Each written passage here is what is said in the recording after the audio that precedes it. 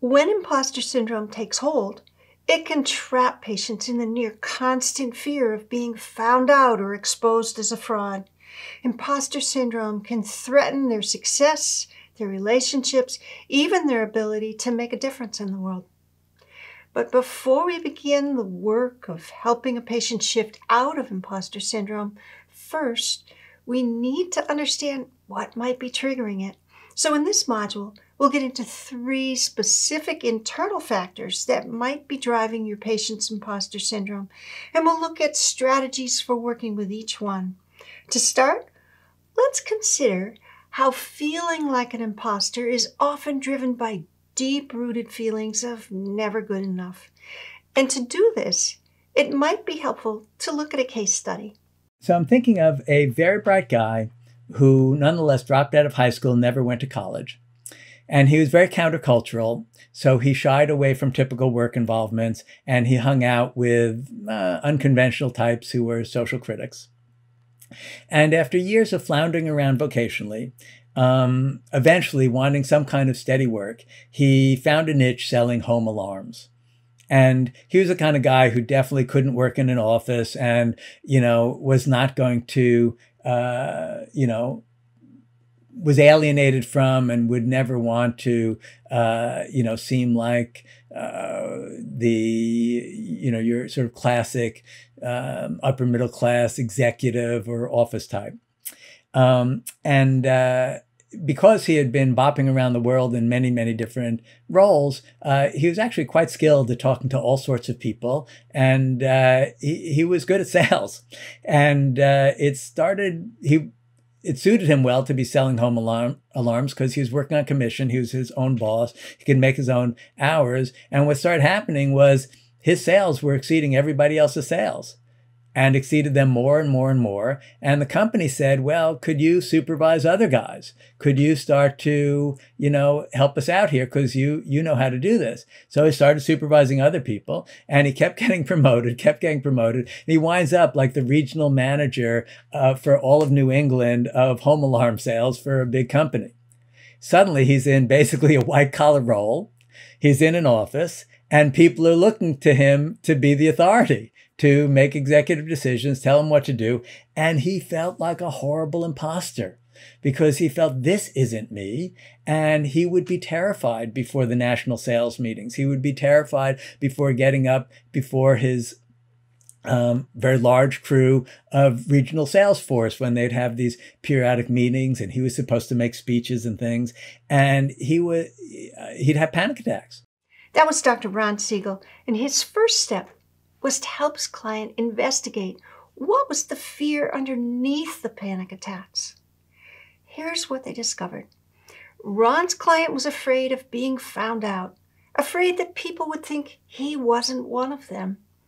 And beyond that, Ron's client worried that people would just simply not see him as a manager. So, how can we help when a client's imposter syndrome is telling them that they just don't fit the image of someone in their position? In the therapy, we started deconstructing these images, looking at so what is a real manager? What do they think? What do they feel? How do they go through the world?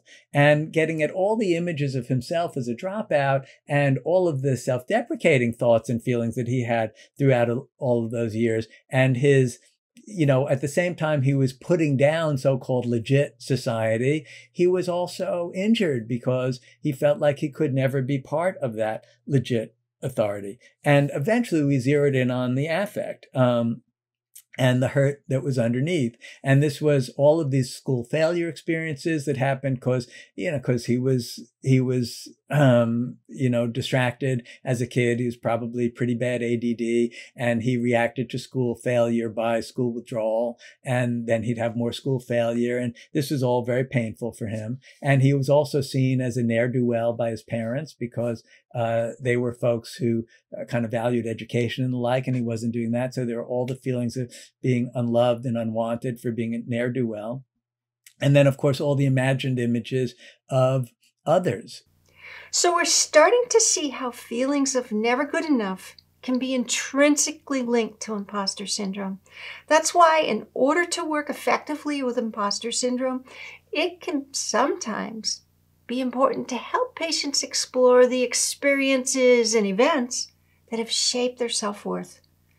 To help his client do this, Ron worked with him to create what he calls a self esteem autobiography where you look at different phases of your life, starting very early on, and record the times that you felt good about yourself and the times you felt bad, badly about yourself during each phase. So earliest memories, you know, preschool years, uh, elementary school, high school, on through, um, and and to really talk about how wanting to be accepted by the group is quite hardwired, wanting to feel like I'm okay. I'm, you know, I'm at least good enough as, as I compare to others is hardwired, seeing how in our current context of social media and everybody comparing themselves to one another online all the time, how easy it is to feel inadequate and the impossibility of winning consistently. So we could kind of get at the whole game of trying to maintain and support self-esteem and seeing that feeling like an imposter is deeply connected to that because it's the feeling that I'm not good enough. It's the feeling that, you know, other people are real managers and I'm not a real manager. And then out of that to turn to alternatives to turn to really trying to get a realistic appraisal of his skills and deficits so he could be honest about what he's good at and what he's not so good at, um, and to move toward using his sales skills that he was so good at, which is basically the skills of connecting with people, and think instead of posturing as a manager, why don't you connect to your sales force? Why don't you connect to the managers above you? Try to understand, well, what are their anxieties? What are their needs? What are their insecurities here? And through all this, we eventually come to, I guess we're all human beings here. You know, let's try to connect to one another rather than feel that I have to be a real anything. Now that we've looked at one strategy that you might use to work with underlying feelings of never good enough, Let's get into another common driver of imposter syndrome, and that is self doubt. How do we help patients work with the self doubt that so often lies just beneath imposter syndrome? So I think one one place to start, right, is just normalizing that a voice of self doubt does not make the content of that voice true, right? So it's it's um, you know that that idea that don't believe everything you think, right? Just because you have a thought that, ooh, maybe I'm a fraud. Maybe they're going to find out that, you know, I really don't belong here. Um, that doesn't make it truth, right? So, so reminding people, you know, a thought is a thought. Don't believe everything you think, you know, uh, I think are, are good sort of just go to, um, sort of entry level strategies, and then normalizing self doubt thoughts. Right? Uh, the idea that we can have self doubt thoughts, not believe them as truth, and persist towards our goals even when there's even when there's a little bit of self doubt. Self doubt does not have to stop us. That was Dr. Shelly Harrell her strategy is simple yet powerful, and it can be a key first step in working with self doubt. But let's also look at another way that you might help your client normalize that voice of self doubt. I will send clients to listen to podcasts of people um, who are talking about themselves. There are some really great podcasts in which people talk about their successes. And these are people that, you know, we'd all agree are sort of successful and do their job well. They might be celebrities or they might be entrepreneurs. And when those people tell their stories, I ask my clients to listen for the self doubt that even as they're talking about their successes or maybe they're talking about how they built up their business they're they're talking about uh, the the misstarts and the failures and the competition and the questions how universal it is to have those questions to have that self-doubt and that it really is okay. Because once we normalize it and once we begin to to recognize that that being successful is is not being free of self-doubt and in fact sometimes quite the opposite So I want, first of all, for them to listen to it and, and then be able to step back from that part of themselves. That was Lynn Lyons. And that strategy that she just shared gives clients a concrete way to discover just how normal and universal self doubt can be by showing them how even the most successful among us experience it too. But there's still one more way that you might angle your approach to self doubt. To really focus people not on arguing against the doubt, because you cannot defeat doubt. And in fact, trying to argue with it glues you to it, and that's what it wants. Then you're trapped trying to generate one proof after another, and there's no end to that. What's different is to disengage from arguing against the, the doubting voices and focus on what's the factual evidence of your own worth including the sincerity of your efforts, growth mindset again. That, in other words, what's the evidence in your process of your own worth and, and genuineness? You have good intentions, you make sincere efforts, you keep trying, you do, you are getting better and better at things. Looking for real evidence there, I think, and then internalizing the experience of that evidence. Really, really, really important to take in. Now, in addition to feeling never good enough and experiencing self doubt, there's one more internal trigger that can factor into your patient's struggle with imposter syndrome.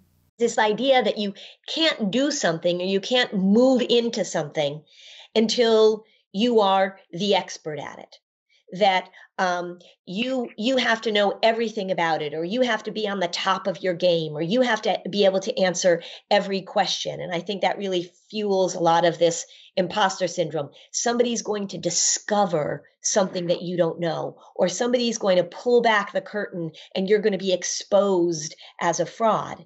For some patients an elusive quest for perfection can leave them feeling like an imposter so, how might you work with imposter syndrome that's fueled by perfectionism? I talk to, to uh, uh, adults um, uh, about that concept of the zone of proximal development that is a part of education has been around for you know probably 150 years now is this idea that when kids are learning things and when we're teaching kids things that that zone of proximal development is when we push them farther just a little bit farther than what they already know how to do. So they're learning in a place of discomfort, that they're discovering things about themselves that they don't know how to do yet. And the way that you discover that and the way you learn that is to do the thing that you don't know how to do yet.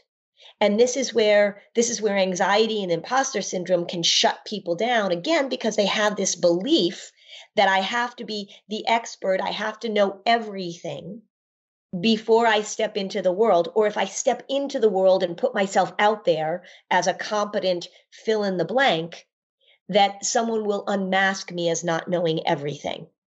And so that's something that's a that's a I think a very helpful thing to talk to adults about is that this is a normal thing that we do with kids as they're learning, and it's really okay for us to do it uh, with with ourselves as well.